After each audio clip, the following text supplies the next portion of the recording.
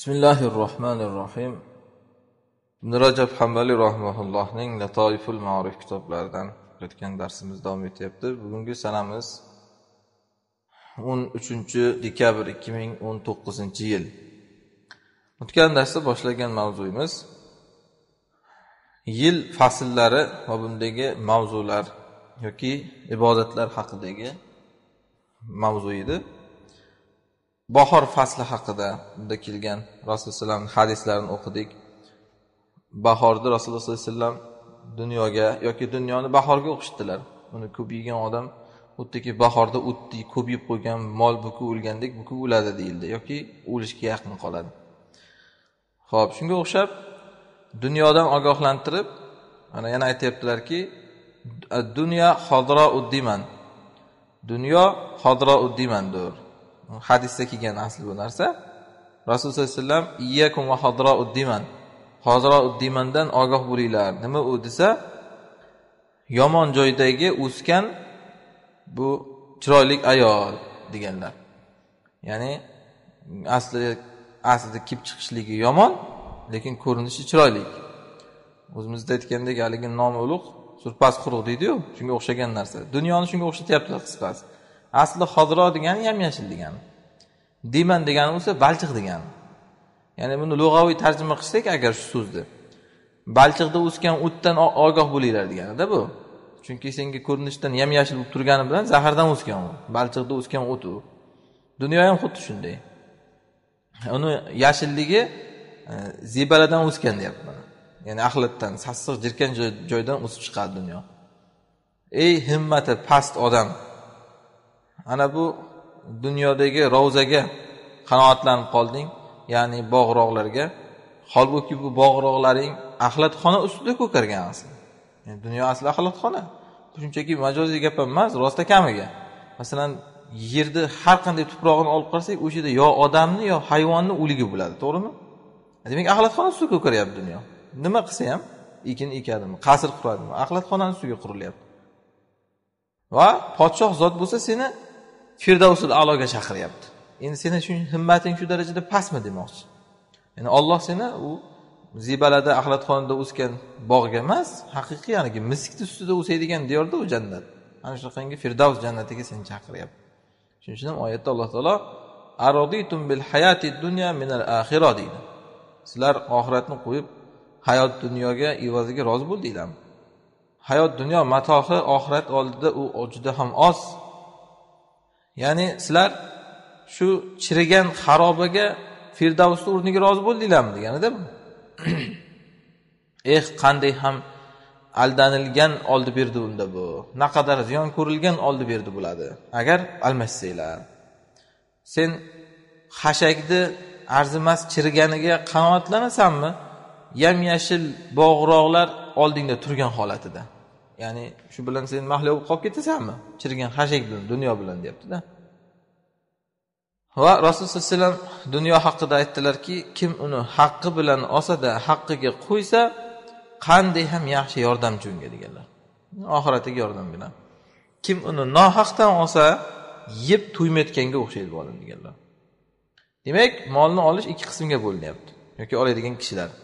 Birinchisi haligi yashil o'tni yoki o'sha somonini yeyuvchilarga o'xshatilinyapti ya'ni e, bukib qolmaydiganda bular yashil o't somonni yeb chaynab kavshay qatarib keyin hazm qilib yana yeydiganlar.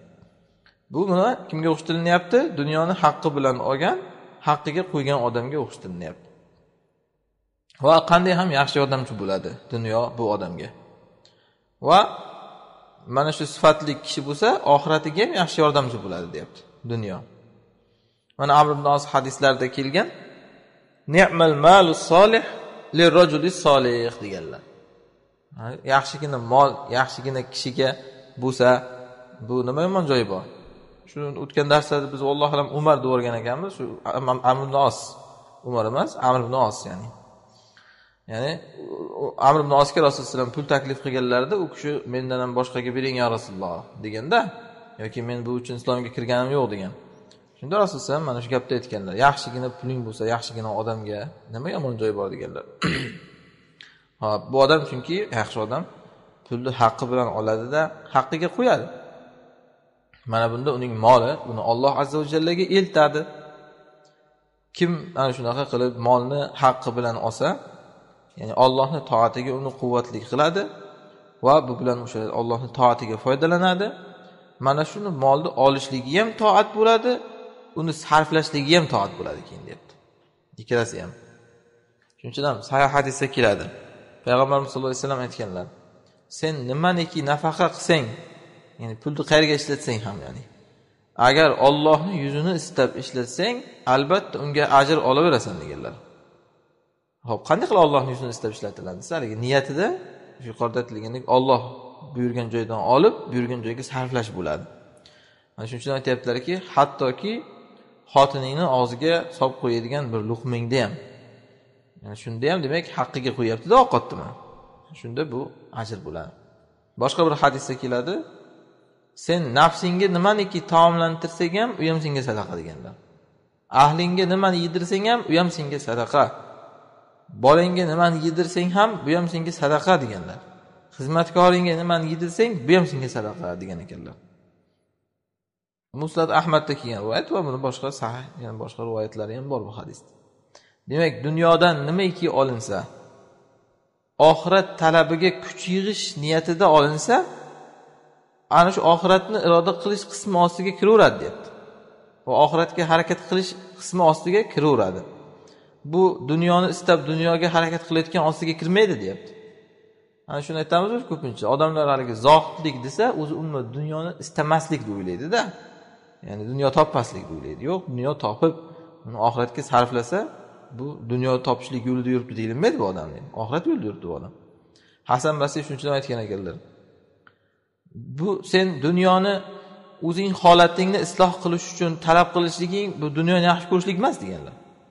Ya'ni haligi dunyoga ruju qo'yib mol dunyo ketdan quvib yuribsanmi deyilmaydida seni o'zingni holatingni isloh qilish uchun talab qilyapsan. Va e, sen u hojatingni ham tark qilishing va mo'min zuhdika fiha tarkul hajati yasuddu anka tarkuha. Yana bu dunyoda seni zohidligingdan emaski hojating bo'lib turib tark qilishing.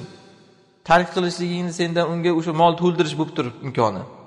Ya'ni mol topsang to'ladi hojating ana shuni lekin sen tark qilasan topmaysan. Bu zuhd emas deyapti. Ya'ni to'ldirishing kerak o'zingni hojatingni.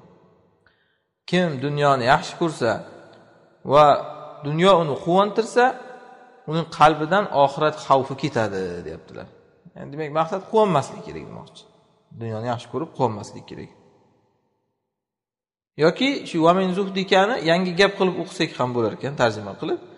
Unda ma'no shunaqa bo'ladiki dunyoda zohidliging shunaqa bo'ladiki bir hojatlaringni tark qilasan deyapti. Uni tark qilish senga o'rniga to'lib turadi baribir boshqa jihatdan. Ya'ni tark qilganing bilan bir joying kamaymaydi tark qilganing senga qiyin bo'lmaydi. Ana shunaqa qilib haligi tark qilishing senga zarar bo'lmaydigan holatda dunyoni tark qilishing ana shu zohidlik deyiladi deyapti ana bu o'sha zohidlik deyiladi. Ho'p va said ibn jubayr aytgan ekanlar. Aldoqchi matoh ya'ni dunyo seni oxirat talabidan chalg'itadi. Va seni chalg'itmagani bo'lsa ana u aldoqchi matoh deyilmaydi deyapti. Oxiratdan chalg'itmadimi? Bu aldoqchi matoh deyilmaydi lekin bu seni e, o'sha undanda yaxshi diyorga oxiratga yetkazib qo'yuvchi narsa bo'ladi deyapti. Ya'ni mol dunyo. Va ba'zi oriflar aytgan ekanlar har qachon sen dunyodan nimagaki erishsang u bilan dunyoni istab erishsang ana shu yomonlanadi deyapti. Va har qachonki sen dunyodan nimaga erishsang unda oxiratni istab erishsang bu yomonlanmaydi. Dunyodan emas deyapti. Va abu sulaymon aytgan ekanlar dunyo ollohdan bir parda uning dushmanlariga. Ya'ni olloh o'zini dushmanlarini o'zidan shu dunyo bilan mashg'ul qilib qo'yadida shuning uchun ham o'zidan to'sib qo'yadi deyapti. Parda bu dushmanlarga. Va o'z navbatida ollohni do'stlariga bo'lsa ollohga eltuvchi ulov. Demak olloh o'zi yomon ko'rgan odamlarni o'zidan nar qilish uchun ularga o'rtaga o'zi bilan parda tashlaydi. U nima mol dunyo ularga. Lekin o'z navbatida avliyolarga ham gohida mol dunyo beradi chunki ular nima qiladi? Ollohga yetadi u bilan. Shuning uchun ham aytyaptiki subhanalloh bitta narsani qarang ham o'ziga yetishlikka sabab qilib qo'ygan ham o'zidan uzilishga sabab qilib qo'ygan. Ya'ni dunyoni. Alloh taolo avliyolariga nima qilib bergan? Ollohni o'ziga yetishligiga bir vosita qilib bergan. Dushmanlariga bo'lsa olloh bilan o'rtasini to'silishlariga sabab qilib bergan bu mol dunyoni. Ikkinchi qism bo'lsa nima u ikkinchi qism? Ya'ni ikki qismga o'xshatdilarda rasululloh dunyo topuvchi odamni. Birinchisi haligi xashakni yeb bukmaydigan odam e, ikkinchisi u hayvonga o'xshagan odam deyaptilar. Ya'ni bahorda nima o'ssa yeyveradi o't endi uni. Hop keyin oxir oqibat u yegan o'tlari uni buktirib o'ldiradi yoki o'ldiray deydi. Bu ana shu mol dunyoni nohaq olgan kishilarni misoli bo'ladi. Bu harom yo'llar bilan olgan bo'ladi va og'ziga qanoat qilmaydi ko'piga ham qanoat qilmaydi. Ana bunda nafsi undan to'ymaydi ya'ni dunyodan. Shuning uchun ham aytyaptilarki bu odam yeb to'ymas odam bo'ladi deyaptilar. Va payg'ambarimiz sallallohu alayhi vasallam to'ymaydigan nafsdan panoh so'raganlar. Va e, nafsilla tashba ilmilla yanfa duolari borku e, to'ymaydigan nafsdan foydasiz ilmdan panoh so'rayman deb panoh tilaganlar. Zayd ibn sobit hadislarida keladi payg'ambarimiz sallallohu alayhi vasallam aytgan ekanlar. Kimniki dunyo g'ami bo'lib qolsa olloh unga ishini tarqatib qo'yadi. Ya'ni hayoti tarqoq parokandalik bilan o'tadi. Qachon bo'lsa shu nimanidir ketdan quvgan uni hosil qilsa bu yetishmay qolgan ana shunaqa bo'lib o'tadi. Va uning faqirligini ikki ko'zining orasiga qilib qo'yadi. Ya'ni bu degani shu ko'zini ochsa ko'ziga faqirlik ko'rinaveradi deganida ya'ni xuddiki kambag'al bo'lib ketayotgandek xavotirni solib qo'yadi degani. Qachon bo'lsa o'sha dunyoni ketdan quvadi keyin odam. Va lekin dunyoda unga baribir o'sha bitilgandan boshqasi kelmaydi. Shuncha yonib kuyib baribir taqdirda boridan boshqasi kelmaydi.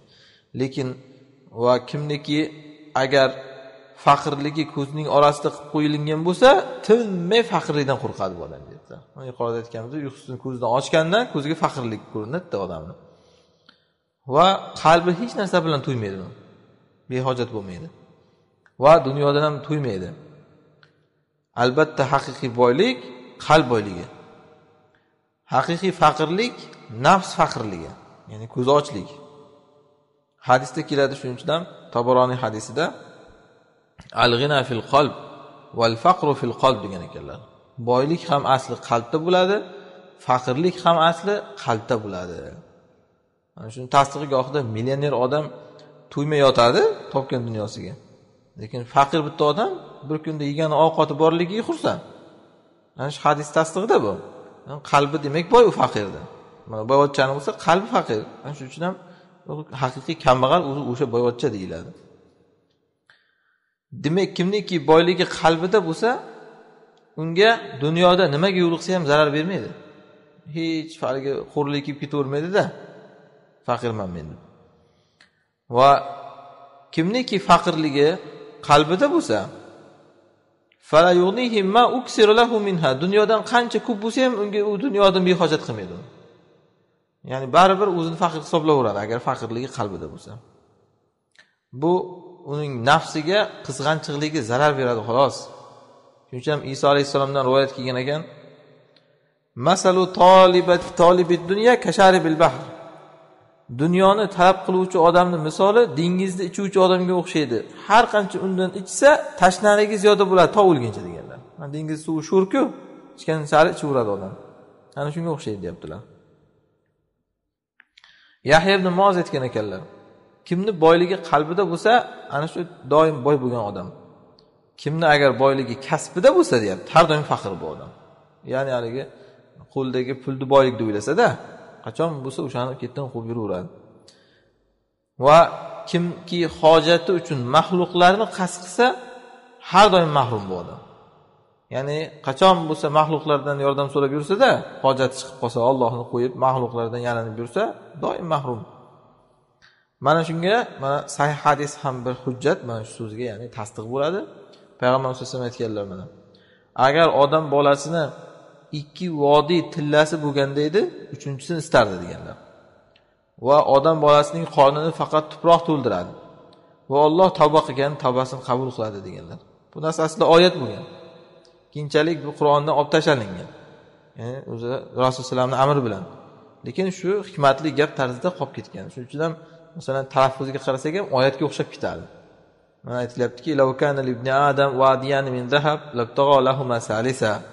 ولا يملأ جوف ابن آدم إلا التراب ويتوب الله على من تاب qur'onga o'xshaydida ohangi ham ya'ni shuning uchun ham agar tamagir odam dunyoni oqibati haqida fikr qilganda edi qanoatli bo'lib qolardi agar och odam u dunyoni oqibati ochiqcha dunyoni oqibati nimaga borishligini eslaganda edi to'yardi ya'ni u ko'zini ochiq o'zligi oxiri qayerga borishligini eslaganda aliha degani shu ochko'zligini oxiri dunyoni. Qayerga borishligini bu odam fikr qilganda edi to'yib qolardi. Mana alloh taolo o'zining kitobida dunyo va uning ko'rkamligi yam yashilligi uni bahjati va lekin tezda o'zgarib ketib zavol topishligini yerdan chiqqan nabototga o'xshatadi. Nabototga ham qarasangiz osmondan yomg'irdan ko'karib chiqadi tushgan yomg'irdan. Har xil hollardan o'tadi birpasda qarasangiz bir yildan keyin qurib xashak bo'lib yotgan bo'ladi. Bir vaqtlar ko'zni quvontirib turgan narsa. Masalan oddiy bitta gul insonni aslida o'sha tafakkurga undash kerakda. Bunday olib kelib qo'yib qo'yasiz mana qadaxga shunday ko'zini quvnatib bir hafta yaxshi turadi. Bir haftadan keyin qarasa xashak bo'lib odam hidiga ham chidolmaydigan bo'lib ketadi. Dunyo xuddi ana shunaqa narsa deyapman. Shuning uchun ham alloh taolo misol keltiradi dunyo haqida. Odamlarga hayot dunyo misolini keltiring. Biz samodan tushirgan bir suvga o'xshaydi. Suvgagina o'xshamaydi. Ana shu hozirgi misolni hamma juziga o'xshaydi. Zarbul masallar ikki xil bo'ladida. Juziy zarbul masal bor kulliy zarbul masal bor. Ya'ni bitta lafzni o'sha juzidan unga misol keltirish bor va o'sha lafzni hamma qirrasini unga misol qilish bor. Hozir mana bu shunaqa. Olloh aytyaptiki hayot dunyoning misoli shunaqaki bir osmondan suvni tushirsak undan yer nabototlari aralash bo'lib chiqadi. Birpasda qarasang hashim ya'ni hashakka aylangan bo'ladi. Tazruhu riyah shamollar uchib ketadigan hashakka aylangan. Olloh har bir ishga qudratlidir. Va yana alloh taolo aytadi. Dunyo hayotining misoli shundayki bir biz samodan suv tushirsak keyin yer nabototlari undan aralashib chiqadi. Odamlar va hayvonlar yeydigan nabototlar. Qachonki yer ziynatini olgach ya'ni yam yashil bo'lib gullab rang barang bo'lib va ziynatlangach va yer ahli o'zlaricha yerga endi biz qodirmiz deb turganlarida ya'ni endi bo'ldi mana ko'kardi deb turadiku odam ekinini. Masalan dehqonlar yaxshi biladi daraxtlar gullab endi mevalar solganda he bo'ldi ana endi endi meva soldi endi deydida o'zicha. Lekin o'shanda ham hali odam o'zicha qodirman degan bilan bo'ldi degani emas. Shunday bizni amrimiz keladida kechasi yoki kunduzi uni xashak qilib ketadi deyapti yoki xashak qilib tashlaymiz. Xuddiki kecha biror bir foyda bermagandek. Ya'ni gullamagandek yoki shu hosil solmagandek qilib tashlaymiz bir kunda. Ana shunday qilib oyatlarni biz tafsilotini keltiramiz tafakkur qiladigan qavmlar uchun deydi. Maqsad bu yerda ham dunyoni mana birpasda olloh yam yashilligini xashakka aylantirib tashlaydi. Va yana alloh taolo aytadi bilinglarki dunyo hayoti o'yin kulgu ziynat o'rtarangda o'zaro faxr. Va mol dunyo bola chaqalarda kun uzarlik o'ynash. Xuddiki bir yomg'irga o'xshaydiki dehqonlarni undan chiqqan nabotot ajablantiradi. Dunyo xuddi shunaqa narsa. Dehqonlar bunday nabototga qarab yomg'irdan keyin yam yashil bo'lib chiqibdi deb xursand bo'ladiyu. Lekin ko'kka bormaydi yam yashillik. Dunyo ham xuddi shunaqa narsa. So'ngra qarasang yahich deyapti quriydi. Sap sariq bo'lib ketganligini ko'rasan deyapti. Qurib. So'ngra qarasang hashakka aylanadi. O'simliklar dunyo ham xuddi shunday. Oxiratda bo'lsa qattiq azob va ollohdan mag'firat va rozilik bor. Dunyo hayoti faqatgina aldoqchi bir matoh deydi. Yani xuddiki yuqoridagi gullar o'simliklar bir faslda insonni aldab ko'zini quvnatib turganiga o'xshayaptida ya'ni. Va yana alloh taolo aytadi. Ko'rmaysizmi? Alloh taolo samodan bir suvni tushirdi. Va uni yerda buloqlarga kirgizdi. Ya'ni haligi buloqlarga chimdirdida suvni. Keyin buloqlardan suv buloq otilib chiqadi yoki ariqlardan. So'ngra bu bilan olloh ekinlar chiqaradi. Har xil ranglik. So'ngra qarasang quriydi u. Qaraysanki sap sariq bo'lib ketgan. So'ngra olloh uni hashakka aylantiradi. Albatta mana shunda aql egalariga ibrat bor deydi eslatma bor dunyo qisqasi hamma narsasi bilan yashilligu bahjati ya'ni ko'rkamligi va chiroyi bilan uni holati o'zgaradi tezda almashadi. So'ngra qurgan hashakka aylanadi. Alloh subhanaa taolo dunyo ziynati va uning ko'rkam matohlarini birma bir sanab chiqadi mana. Insonlarga shahvatlar muhabbati ziynatlik qilindi. Bu shahvatlarki ayollar bola chaqalar uyum uyum tilla kumushlar egarlangan otlar chorva hayvonlari va dehqonchilik ekin tekinlar mana bular hammasi holbuki hayot dunyo matohi deydi. Olloh huzurida go'zal oqibat bor. Ya'ni shular hammasini biladi oxir oqibat tuproq bo'ladi degan. Har xil ne'matlar oxir oqibat tuproq bo'ladi. Faqat tilla kumush to'g'ri. U ya'ni tuproq bo'lmaydi. Va ular chunki o'zini aynidan foydalanilmaydi ular deyapti hech kim yemaydi tilla bilan kumushni balki ular nima? Qiymat narsalarni pul birligi. Shuning uchun ham kishi uni olib qolgani bilan undan foydalanolmaydi. Uni ishlatsa foydalanadi. Shuning uchun ham hasan basri aytgan ekanlar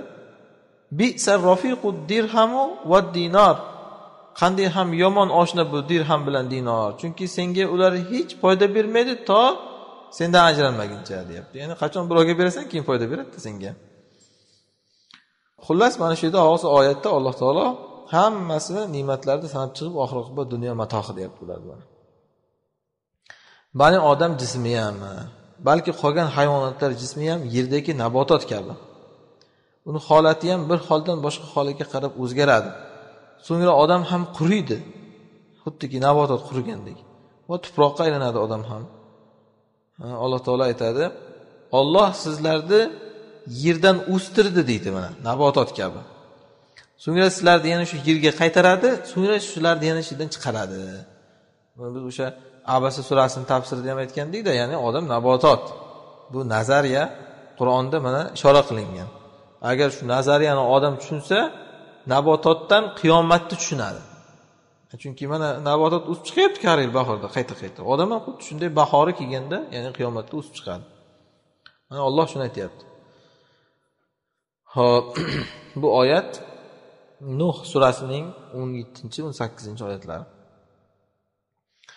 Odam bolasi ham mana qarang yoshlikdan keksalikka ko'chadi. Sog'liqdan kasallikka ko'chadi. Vujuddan yo'qlikka ko'chadi. Xuddiki o'simlikdada o'simlik ham shunaqa bosqichlardan o'tadi.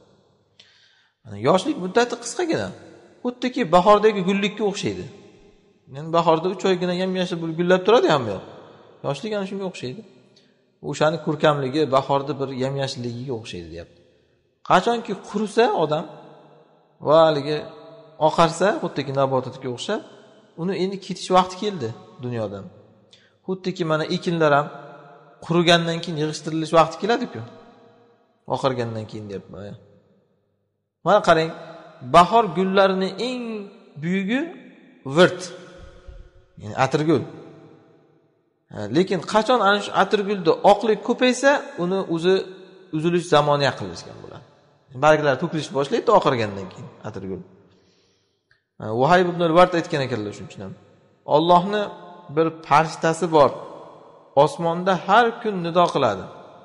Ey ellikka kirganlar sizlar yig'ishtirilishi yaqinlashgan ekansizlar mana bu ham shu yuqoridagi nazariyani quvvatlayapti. Odamzod nabotot sizlar yig'ishtirilish yaqin qoldi deyapti mana va marfu hadisda keladi. Har bir narsani yig'ishtirilish vaqti bor deganlar. Ummatimni yig'ishtirilish vaqti oltmish bilan yetmish yosh o'rtasida deganlar.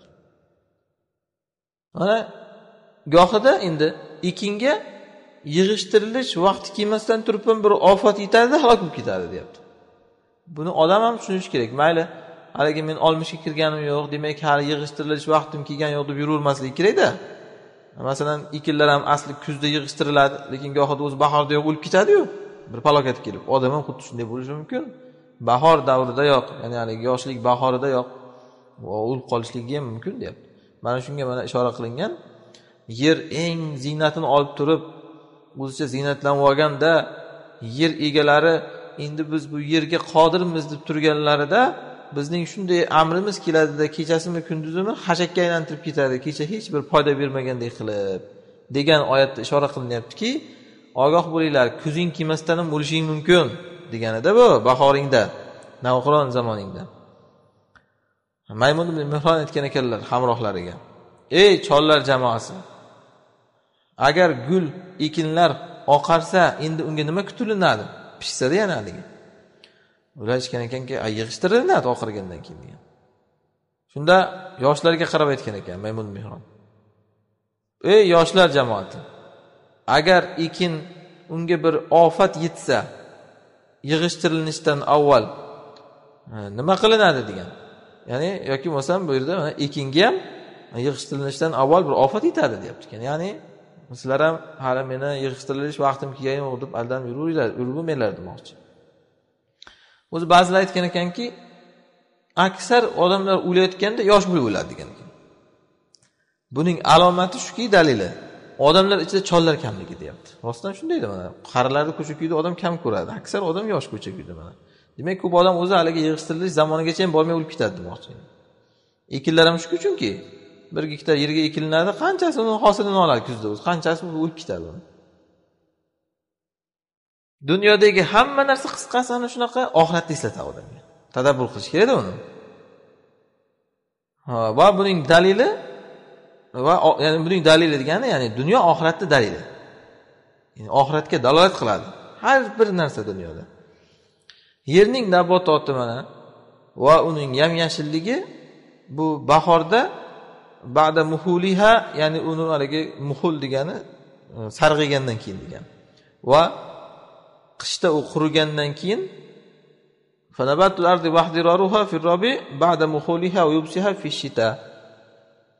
ya'ni aytmoqchiki bahorda ekin yam yashil bo'lib chiqqanligi qishda u qurib qovjirab yotgandan keyin bo'ladi.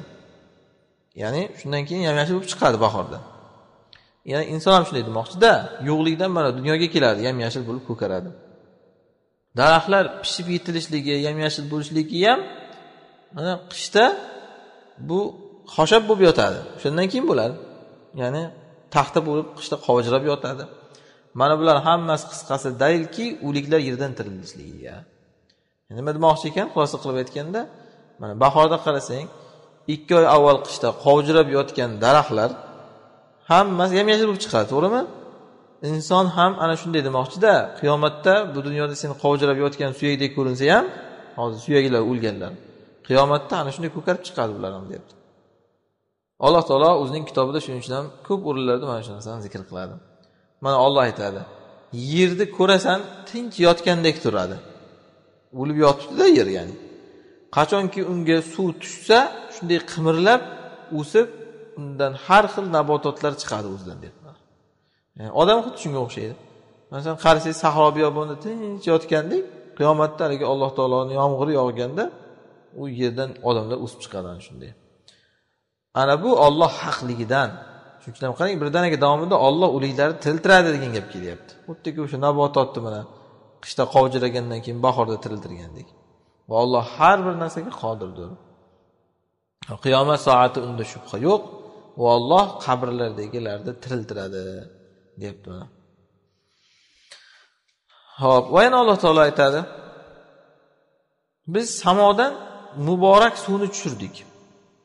U bilan bog'larni chiqardik va yig'iladigan yig'im terim donlarini chiqardik. Va basiqot ya'ni uzun uzun poyalik xurmalarni chiqardik. Laha tolun nadid u xurmalarni g'ij g'ij shingili bor. Ya'ni uzumni shingiliga o'xshab xurmani qarasak shingili bo'ladiyu osilib osilib turadi xurmani shingillari. Bandalarga rizq qilib chiqardik va bu bilan o'lgan shaharni tiriltirdik. Qayta chiqish ham xuddi shunday. Yani ertaga qiyomatda odamlarni qayta chiqishligi ham. Shuning uchun ham aytyapmiz bugungi kunda agar odamlar mana shu e, xususan mullalar mana odamlarga ana shunaqangi biologiya bilan qiyomatni tushuntirsa odamlar bugungi kundagidek g'ofil bo'lmasdi.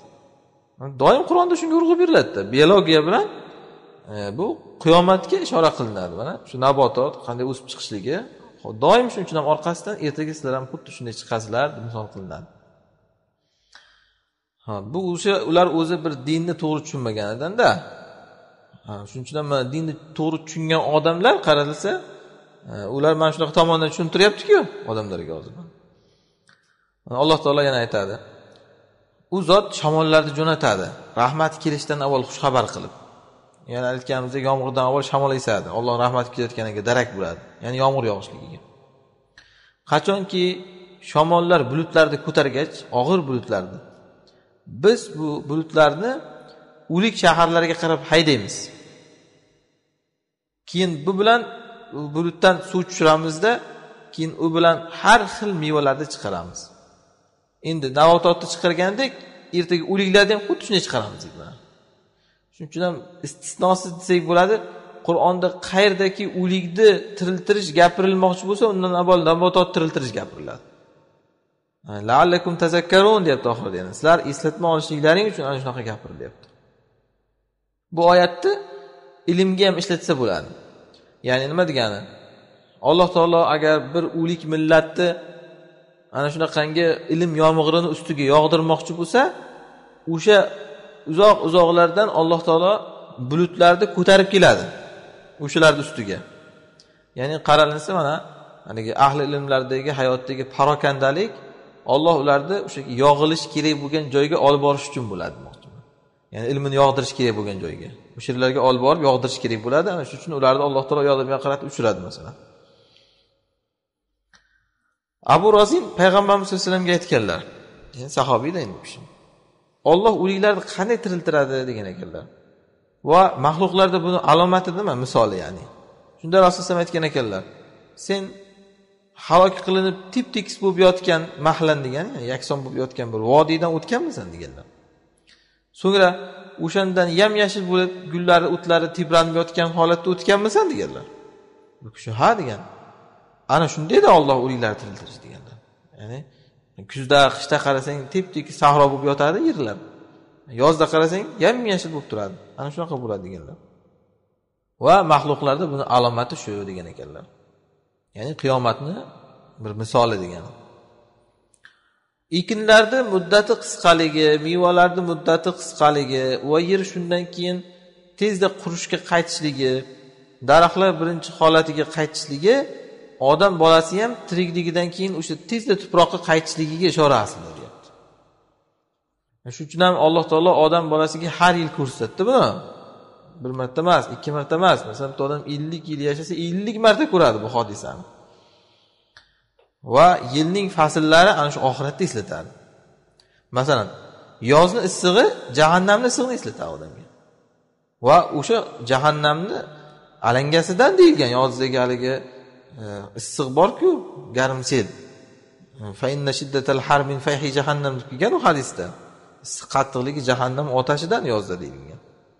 Xuddi shunday qishni sovuqligi ham jahannamni izg'irinini eslatadi. Zamharir jahannamni izg'irini o'sha qishdagi eng sovuq kun jahannamdan bo'ladi deyilgan. Haligi hadisda kelganda ikki marta olloh jahannamga nafas olishga izn beradi. Jahannam ollohga arz qiladi o'zimni o'zim yeb qo'ydim deb.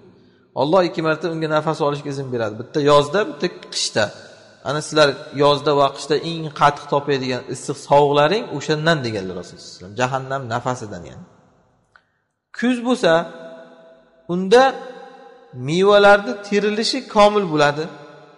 Mevalar uyda saqlab qo'yilinadi.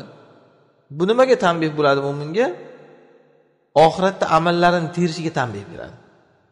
Ya'ni hozir bahoringda ek mana kuch kelganda mevani teryapsanu ertaga ham oxiratning keyin ana shuni terasan degan bir tanbeh bo'ladi. Ammo bahor bo'lsa bu yil fasllarini eng yaxshisi bu o'sha jannat ne'matini eslatadi odamga.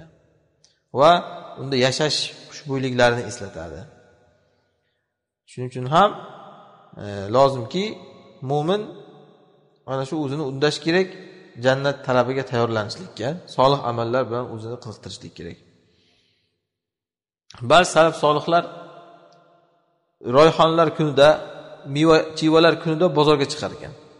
Royxonlar meva chevalar kuni degani o'sha e, yig'ilgan kunda terilgan kun bozorga olib chiqib sotiladigan kuni ya'ni meva chevalar va qarab turib o'sha bozorda sotilayotgan rayhon meva chevalarga ibrat olar ekan o'shalardan ham. Va allohdan jannatni so'rar ekan. Endi nimasidan buni ibrat olyapti. E, mana o'shanaqangi noz ne'matlar yig'ib terilganligida egalari endi buni bir vaqtlar ekib qo'ygan hozir bugun foydasini ko'ryaptida. Shundan ibrat oladi. Ular ham borib bozorga qarab. Mana said jubayr bir podshohlar bolalari oldidan o'tgan ekan. Podshohlar bolalari majlislarida ziynat bilan o'tirgan ekan.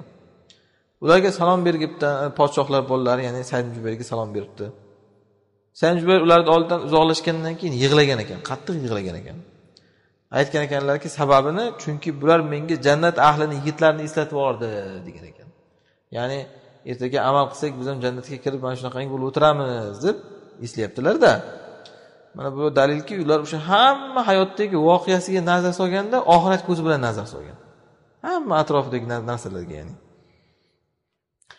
Siyat ashi ham katta bir ulamolardan bu kishi basralik zohid ulamolardan. Oltmish ikkinchi hijriy yilda yashaganlar. Vafot etganlar yoki shahid bo'lgan ekanlar. O'sha kishi qisqasi muozatul adaviyaga uylanganlar. Bu ham olima tobiinlar taba tobiinlardan yoki hisoblanadi. Muoza. Ikkita olim olima bo'lgan ya'ni bular. Shunga uylanganlar qisqasi. Ikkalalari ham katta solihlardan bo'lgan bular. Va u kishini akasini o'g'li e, hammomga kirgizibdida siylani kuyov bo'lanida yuvintirib tarab keyin yuqoridagi xotiniga kirgizib yuboribdi. Ya'ni muozani oldiga. Nikoh kechasidada endi bu. Uylarni xushbo'ylab va munajjat degani shu nima qilib tozalab atirlar sepib deganida tutatib o'shanaqa qilib kirgizib yuboribdi. Keyin ikkalalari turib bomdodgacha tonggacha namoz o'qib chiqishibdi. Kelin bilan kuyov ya'ni ikkita olimda endi bular. Keyin haligi akasini o'g'li nima bo'ldi? deb holini so'ragan ertasi kunigada yana qanday bo'ldi nikoh kechang? deb. Shunda haligi odam aytgan ekanki sen meni kecha shunday uyga kirgizdingki menga u jahannamni eslatdi degan. Ya'ni birinchisi hammom. Hammomga kirdiyu cho'miltirdi kuyov bolani bunda jahannamni esladim deyapti. Ha keyin meni kechasi kirgizib yubording menga bu bilan jannatni eslatding deyapti. Jahannam bilan jannatni eslash o'rtasida oxiratni eslab chiqdida nikoh kechasida ham ya'ni. Meni fikrim o'sha jannat bilan jahannam zikrida o'tdi tonggacha degan. U ham xuddi shunaqa bo'lganda narigisi ham muoza ham. Oysha onamiz shogirdlaridan adashmasam muoza adabiya ko'pincha rivoyati keladida uni. E, Tarixda ham aytyapti sihoh sittada hammasida rivoyati bor u ayolni muozatul adaviyani e, o'sha oysha onamiz shogirdlaridan adashmasam ya'ni. Abdul vahid ibn zayd birodarlarini bir taomga chaqiribdilar ovqat qilib. Ularni boshida keyin utbatul g'ollam turib xizmat qilibdi. O'zi ro'zador ekan utbatul g'ollamni. Ular yeyishardi. Bu kishi bo'lsa o'zi ro'zador. Keyin o'sha utbatul g'ollam ko'zlari yoshga to'libdi yuqoridagi abdul vohid ibn zayd mezbon ya'ni. Nega yig'layapsan deb g'ulomdan so'rayaptida utbatul g'ollamdan. Utbatul g'ulom o'sha g'ulomdan so'rayapti ya'ni. Shunda haligi xizmatkor bu g'ulom utba aytgan ekanki men jannat ahlini moidalarini eslab yubordim dasturxonlarini. Ular yeydilar oldilaridan ana shunday bolalar boshlarida xizmat qilib yuradi haligi. Vildanu muhalladun deyilgan u abadiy bolachalar. Ana shuni eslab yig'lab yubordim degan. Mana bu ham o'sha saraflarni hamma narsaga dunyo ko'zi bilan qaragandan dunyo bir ko'zgu tarzda yaratilgan. Nima uchun? Biz bu bilan oxiratga qarashimiz uchun deyapman. Mana yuqorida hozir aytgan gapimiz tasdig'i shu. Yani dunyoga nimaga nazar solsak biz u go'yoki nima? Oxiratga ko'zgu bizga. Ya'ni u bilan oxiratga nazar solamiz. Masalan hozir mana oynaga qaraymiz. U bilan oynani ro'parasidagi narsani ko'rishimiz kerakku. Oynani o'zi uchun qaramaymiz unga to'g'rimi? Ana shunaqa qilish kerak deyaptida. Dunyoda ham nimaga nazar solsa u bizni u yoqqa nazarimizni burish kerak deyapti oxiratga ya'ni. Ana shunaqa biz haraflarni nazari bo'lgan. Unga qarab uni oldida turib qolish uchun yaratilmaganmiz biz deyapti. Ya'ni oynani o'ziga qarab oynani shishasiga qarash uchun o'tirilmaydiku oldida. Uni orqasidagi narsaga qarash uchun o'tiriladi ana shunday qilib inson agar daqiq nazar bilan nazar solsa hamma narsaga nabototlar holatida bir fikr qilsa mo'min odam bu bilan bir xoliqni buyukligiga dalil oladi va uning qudrati komilligiga rahmati komilligiga dalil oladi. Qalbida uning muhabbatiga hayajoni ziyoda bo'ladi. Ya'ni allohga shavqi ziyoda bo'lib ketadida. Mana shunga ollohni so'zida ishora bor. Olloh osmondan suv tushirdi. Keyin bu bilan biz olloh aytyapti ya'ni har xil nabototlarni chiqardik. Undan yam yashil o'tlar chiqardik. Undan e, uyum uyum donlar qalin donlar xurmolardan ularni mevalaridan xurmolar mevalaridan qinvon qinvon degani o'sha shingili. Daniya bunday yerga qarab osilib turadigan shingillarni chiqaramiz. Va uzumlardan iborat bog'lar zaytunlar anorlar bir biriga o'xshagan va bir biriga o'xshamagan mevalar chiqaramiz. Mana u meva berganda mevasiga va yana keyin pishganda pishganiga qaranglar. Albatta mana shularingda ochiq alomatlar bor iymon keltiradigan qavmlar uchun degan. Demak nima uchun hozir olloh sanab chiqyapti bizga bu mevalarni tanishtirish uchunmi mana? Yo'q hamma narsaga ana shunaqa oxirat ko'zi bilan nazar solilganida bu. Shunda ollohga seni yo'llaydi u bahor zamoni hammasi insonga mavizani shunaqa? Bu insonga o'sha bahorni vujudga keltiruvchi zotni buyukligini uni qudrati komilligini eslatadi. Ya'ni xususan qiyomatni eslatadi bahor. Qaqshagan qishdan keyin tirilib chiqyaptida mana shuncha hamma nabototlar. Inson ham xuddi shunday qiyomatda qayta tirilib chiqadi. Va yana bu insonga jannatni eslatadi va allohni karomat diyorida u bilan bir hamrohlikni lazzatini eslatadi. Ya'ni jannat. E, Ibn samun aytgan ekanlar bahorni sifatlab turib. Bahorni yerlari ipakdek bahorni ya'ni yer ipakdekligi o'tlar yumshoqqina bo'lib turadida ya'ni bosganda. Bahorni nafasi ya'ni hidi abir ya'ni ambar bu xushbo'ylik. Xushbo'ylikdek ya'ni hamma yoqda gullarni tekib turadi bahorda. Bahorni hamma vaqti maiza va eslatma degan insonga ya'ni.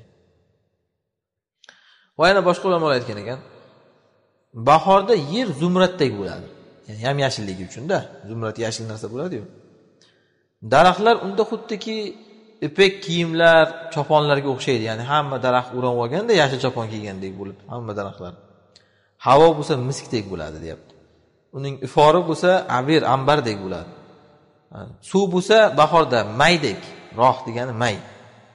Bahorda suvi ziloli suvi bir maydek ya'ni shirin bo'ladi sharobdek. Qushlar bo'lsa xuddiki e, sayrashi ularni qiyonga o'xshaydi.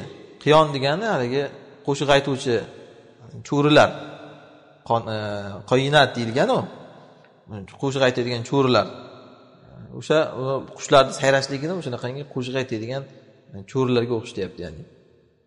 Bular hammasi qisqasi ana shu buni yaratuvchisining qudrati komilligiga dalolat qiladi.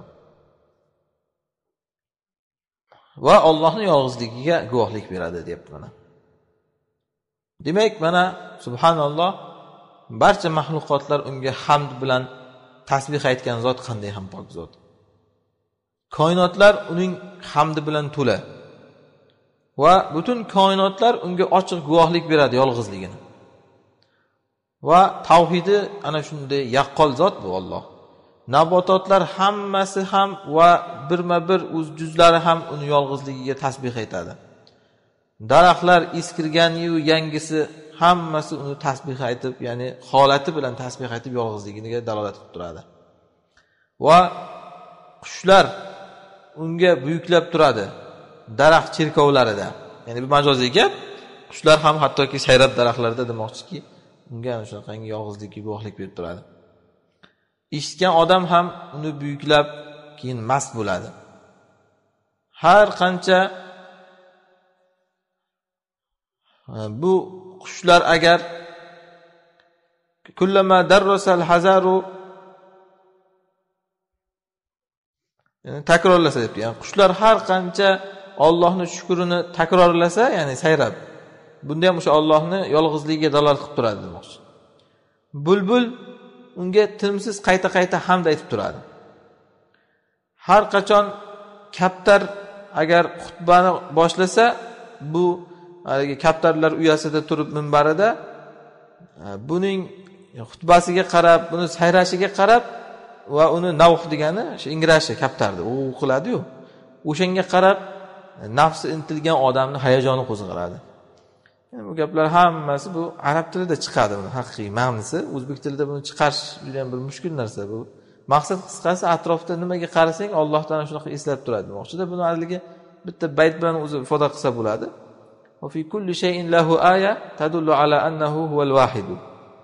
Hamma narsada uni yolg'izligiga dalolat qiladigan bir alomat topsang bo'ladi. Shu narsani hozir tushuntirmoqchi bu kishi alloh taolo oyatda aytgan shuning uchun ham qur'on shunisi bilan ajoyibda shuncha gapni bitta gapni qur'on o'zi chiroyli qilib osongina tushuntirib qo'ygan. Ko'rmaydilarmi olloh qanday boshlaydi keyin qanday qaytaradi? Hamma narsani. Sizlar ham xuddi shunday boshlasizlar ertaga qaytasizlar shuning uchun ham qiziqki shuncha ollohni hikmatini guvohligini ichida yurgan odam ne'matini tanovul qilib turgan odam keyin bu ne'matga shukur qilmasligi deyapti. Va hikmatini ko'rmasligi. Bundanda ajablanarligi shu ne'matlarni unga berayotganga osiy bo'lishi deyapti. Mana uzum daraxtini qarang. O'zimizda haligi vayish deydiyu uzum daraxti.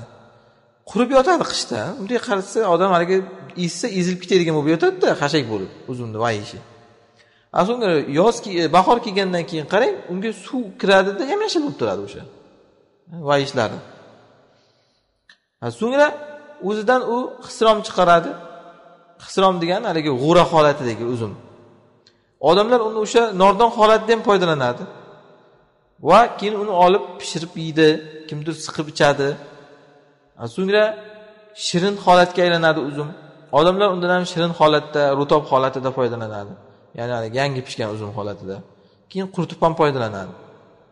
Va o'sha yil bo'yi shirinligini uni manfaatlanib mayiz chiqarishadi undan ya'ni u haligi uzumligini ham yeydi quritib keyin qotirib mayiz qilib ham yeydi. Va uni nordonligini ham non xurush qilib yeyishadi ya'ni non bilan nordon vaqtida ham uzum yeyiladi mana. Xurmo ham shunaqa zaytun ham shunaqa masalan. Mana bu tanaqqulotlar ya'ni o'zgarishlar bitta mevani har xil holatdan o'tishida bir oqil odamga dahshatni keltirib chiqarish kerak. Taajjubni keltirib chiqarish kerak buni yaratgan zotni qudratiga va o'sha xoliqni qudratiga. Ya'ni xususan bu ollohni rahmatiga insonda bir dalolat chiqarish kerakda. Nimaga? Chunki masalan odamzod bitta ovqatdan bezimasin deb har xil ovqat chiqarib tashlagan. Endi o'sha har xil ovqatni ham o'zi har xil holatida iste'mol qilishga yaroqli qilib qo'ygan. Masalan o'zimizda o'rikni davcha holatida ham yeymiz o'rik pishganda ham yeymiz keyin danagini sho'rdan qilib yeymiz keyin qurigandan keyin turshak qilib yeymiz. Uni keyin yana turshak ham bo'lmay qolsa kompot qilib ichamiz qaynatib masalan.